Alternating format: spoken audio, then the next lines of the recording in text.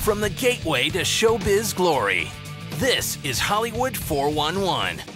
Welcome back to a very special live edition of Hollywood 411 on the death of Michael Jackson. Just in shock here today with this very, very sad, sad news. I'm Madison Michelle here alongside Chris Harrison. Uh, we've got senior editor of In Touch Weekly, Kim Serafin, and entertainment expert Ryan Smith.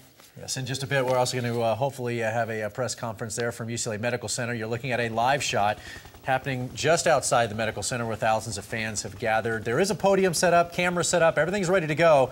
Um, but obviously, you know, the uh, hospital is going to get everything in order before they come out and make an official announcement. We, of course, will have that for you when it does, uh, when and if it does take place. But uh, bringing it back on set here, uh, guys, we know about the Jackson 5 thriller and his uh, iconic career. Um, but there were some dark days. Uh, we also learned about Michael Jackson and, and, the rough childhood he had at the hands of his father. Then there were the accusations of, uh, you know, of his own. And, um, and he had to deal with that, went to trial uh, several times.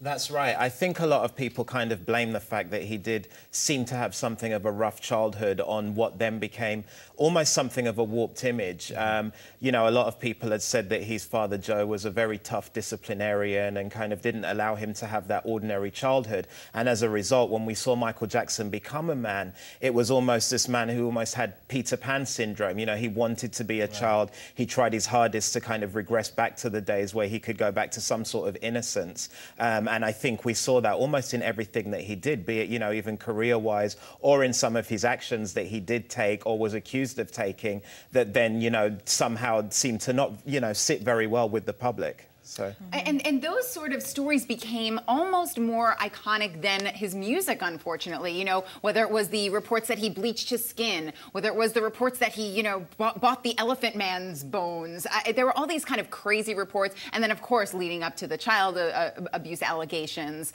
Uh, and then even just the way he treated his own kids, uh, naming, they all had the name Michael as their middle name. There was Prince Michael, um, then there was Michael Jr., and then there was Paris Michael. He made them walk around with masks masks on. I mean, so I think for so many people, that is something that they will remember before the great music, and, unfortunately. And holding the baby out the window, holding of course. Baby, how can yeah. we not mention that? Right, absolutely. Dangling the baby. I do think that, you know, certainly in earlier times, it was easier to dismiss a lot of what was being said about Michael. I mean, right. you know, the rumours seem so outlandish, you know, mm. that he slept in an oxygen chamber and all of these kinds of things. And I think that's what made it easier to kind of ignore um, maybe, you know, some of the worst stuff that was coming up before, you know, that led to, um, you know, allegations and charges being levied against him, we could at least for a while dismiss them as stupid hearsay.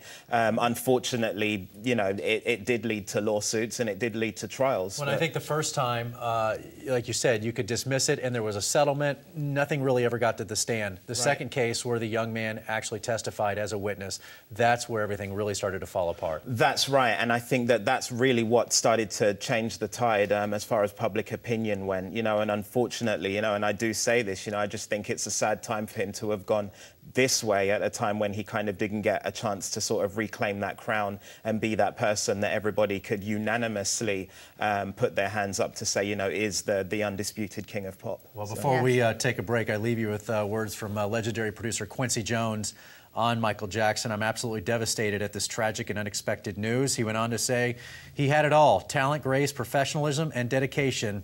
I've lost my brother today, and part of my soul has gone with him. More on the death of Michael Jackson right after this.